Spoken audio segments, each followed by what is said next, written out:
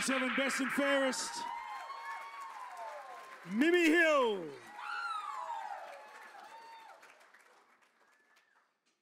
Now that's the sort of ovation that you're after. How does it feel to, to stand up here and have not just the respect of the room, but the acknowledgement that you're the best player in the Carlton Football Club in season seven? Oh, I, am so overwhelmed. Sorry. Um, oh, I, I, it's amazing. I love this club and I love my teammates, and I'm glad they got around me. That feels that felt really good. Um, but yeah, like we saw in the vote, um, Abs, you're a legend, and I've loved playing with you every minute of this season. And um, it was only was it one vote that two, but Two. it doesn't. Okay, it was very close. Um, so yeah. You're the best and fairest winner. You can say whatever you like. Um, I mean, uh, an AFLW NAB Rising Star is good, but a club best and fairest, that's where you show your coaches, your teammates, and everyone what you do for your club and you're going above and beyond. What does that recognition mean? I mean, it's been an amazing 2022 for you, especially when you consider the, the ACL in, in 2021. You've come back from that and haven't just come back, you've come back and, and dominated. To think you've all, done all of this in 20 years of, at 20 years of age, it's a, it's a fairly good resume you're building so far. How does it feel to stand here now as a, best and fairest winner at one of the oldest football clubs in the country, therefore the world? wow. Um, yeah, to think back that I did my ACL last year is pretty crazy, and I couldn't have predicted any of this. Um, and it feels, yeah, I'm so honoured to be standing up here um, for a club that has so much history. And I just, I know that we're on a really good projection, and I can't wait um, to keep working with this team and this this club. But yeah, I'm yeah so honoured to receive this award. Nice. Turn off your. There's a little bit of. We've almost got through the whole night with that one phone going. It was, it was going to be a record. So then we look forward to, to 2023 and, and it'll be season eight. And you've already achieved all of these things, certainly from an individual point of view. And perhaps we know what the team is looking forward to. What are you looking to do going into next season because there's only a, a, few things along the way that you can still achieve in this in this game. At such a young age, there's so many games ahead of you. What are you looking forward to, and what are you going to be working on to take your game to even the next level, if there is enough? There's definitely a next level. Um, Kez and I have already started working hard. Um, she's my little running buddy, and anyone else is welcome to join, please.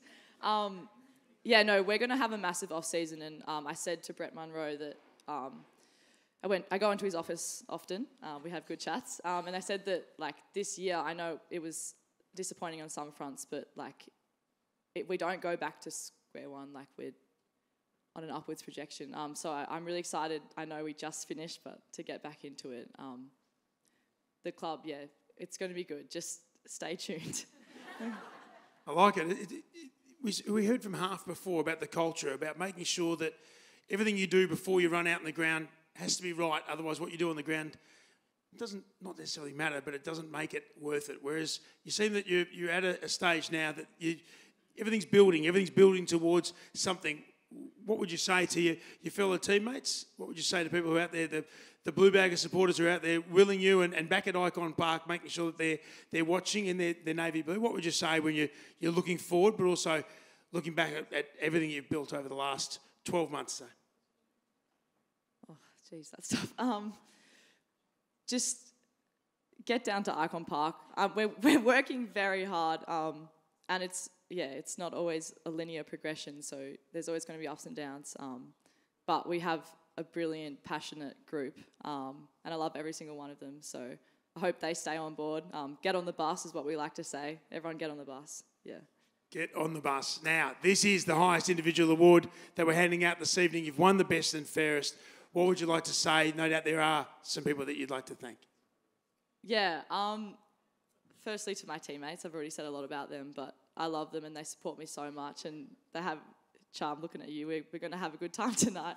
Um, to the club, they've supported me so much through my ACL, and um, yeah, um, who else? The board. Um, I said to Luke uh, previously that I've got a plan. Um, we're going to get the baggers into finals and um, we're going to chat business later, so I look forward to that. Um, and my family, of course. yeah, thanks, mum and dad, they're here tonight. They, they were actually waving. They were waving. I mean, they went after the recognition, but I think it is nice to thank the parents that he. Oh, I was getting there. Dad, you were a bit grumpy on the way here, but I hope you're not grumpy anymore. oh, what, mate? Um, yeah, um, I got my best friend and my boyfriend here, so thanks for coming, you two. Love you very much. um, yeah, I think that's about it. Is there, am I forgetting someone? I don't know. Doesn't matter. One person. My partner in crime, Abbie McKay. Thanks for doing the tackles that I don't do. Love you. You can say that when you win. It's all right. They're, they're still going to vote for you. Uh, if we can, please be upstanding. Charge your glasses because we have our season seven Carlton AFLW best and fairest winner. Please raise your glasses and congratulate Mimi Hill.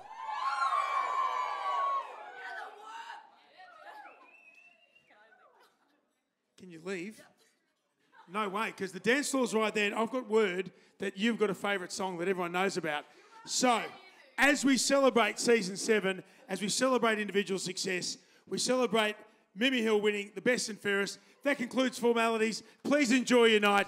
TJ Cassidy, it's over to you. The dance floor is open. Thank you so much. We look forward to season eight next year.